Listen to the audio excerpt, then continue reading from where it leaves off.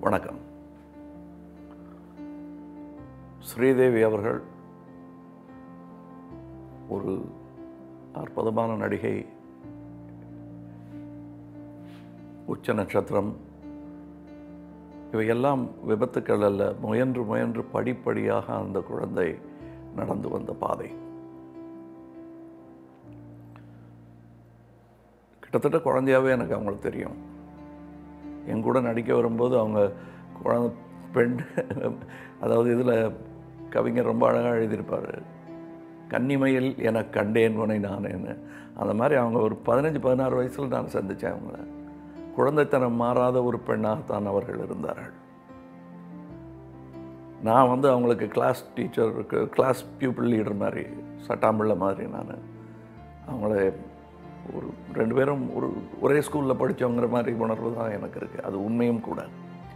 மூன்று முடிச்சுக்கு அவங்க வரும்பொழுது நான் அவங்களுக்கு கூட நடிக்கிற நடிகனாக மட்டுமல்ல பாலச்சந்தர் அவர்களின் உத்தரவின் பேரில் அவர்களுக்கு நடனம் கற்றுக் கொடுப்பது அசைவுகள் கற்றுக் கொடுப்பது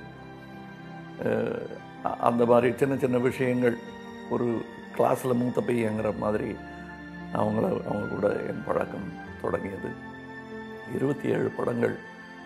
அது கிட்டத்தட்ட ஒரு ஒரு சின்ன வாழ்நாட்காலம் அது. அவர்களுடைய அந்த வாழ்க்கையில் ஒரு ப- பகுதி வரை நான் அவங்க கூடயே பயணித்து கொண்டிருந்தேன் பிறகு அவங்க இந்தியில் பெரிய நட்சத்திரமான போது கூட கொஞ்சம் தூரம் போனேன் நான். அதுக்கப்புறம் என் பாதை போய்விட்டது அவங்க பாதை வேறு பக்கமாக இருந்தது. ரொம்ப தன்னுடைய திறமைகளை வளர்த்து கொள்ள வேண்டும் என்ற ஆசையுள்ள பெண்மணி.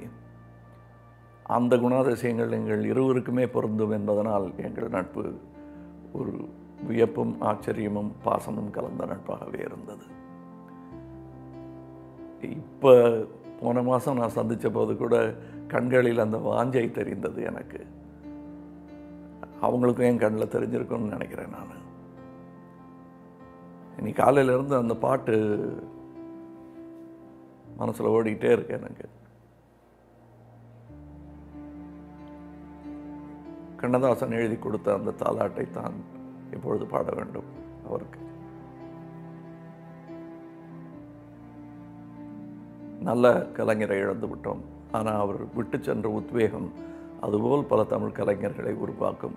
தமிழ்நாட்டுக்கு இந்திய அளவில் உலக அளவில் பெருமை சேர்த்த பெரும் தாரகை அவர். வணக்கம்.